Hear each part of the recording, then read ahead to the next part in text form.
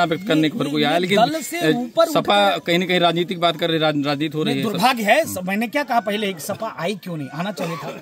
BSP के लोग आए अन्य दल के लोग आ रहे हैं। तो ये ये मामूली घटना नहीं है मामूली बात नहीं है। ये दुर्भाग्यपूर्ण घटना है। और दुर्भाग्यपूर्ण घटना में राजनीति करने का काम चाचा भतीजे की सरकार करती है। ये ये ये बीजेपी राजनीति नहीं करे बीजेपी न्याय करने का काम करती है और तो मैं अपेक्षा करूँगा माननीय पूर्व बाबा जी, आप इस पे क्या पूर्व विधायक जी से मैं अपेक्षा करूँगा कि महोदय आप तत्काल इस परिवार को लेकर मुख्यमंत्री से मिले और और जो इस प्रकार का अपराधी है तमाम अगल बगल आसपास की ज़मीन का अतिक्रमण करके रखा है बुलडोजर चलना चाहिए।